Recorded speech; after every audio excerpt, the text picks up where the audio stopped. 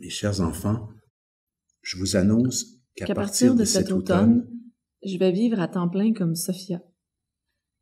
Je vais toujours dans mon cœur être votre père. Je vais toujours vous aimer de la même façon, mais avec une apparence différente. Alors, euh, je m'appelle Marie-Claude Daou, je suis euh, l'auteur de Filles de trans, euh, du spectacle dans lequel j'incarne mon propre rôle et qui raconte ma propre vie. Donc, euh, je joue moi-même dans mon propre texte de ma propre histoire. Tu peux mettre tout le mascara que tu veux, mais moi, quand je regarde dans tes yeux, je vois les yeux de mon père.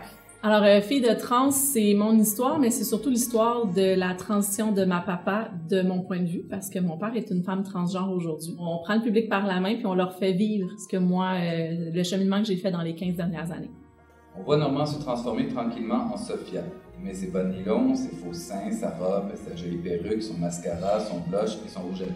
Le parcours d'une enfant de trans, on voit ça de l'extérieur, mais là, de vivre ça de l'intérieur par le personnage de sa fille, c'est ouais, une révélation en fait. J'apprends à connaître Marie-Claude, j'apprends à connaître en même temps Normand, puis j'apprends à connaître Sophia.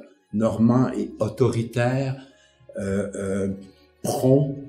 Sophia est beaucoup plus douce. C'est un texte qui est rempli de bienveillance, ça nous déculpabilise, ça nous touche, puis tu sais, on peut-tu juste être qui on veut, être libre, s'accepter? C'est correct.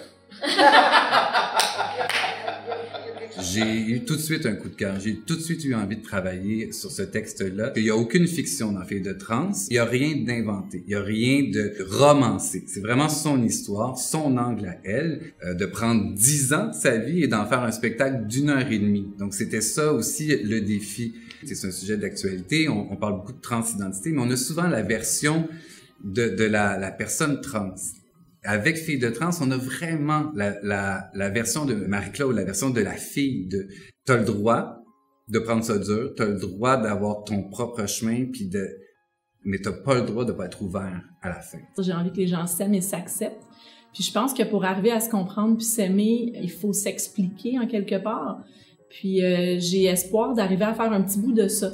Euh, d'arriver à, à, à, rendre les gens confortables de ne pas savoir. J'ai le goût de, de, les encourager à avoir envie d'apprendre puis euh, ouvrir leur esprit un peu. C'est la poulette brune qui a pondu sur la lune. Elle a pondu un coco pour Normand qui va faire dodo. Da, dormira bientôt.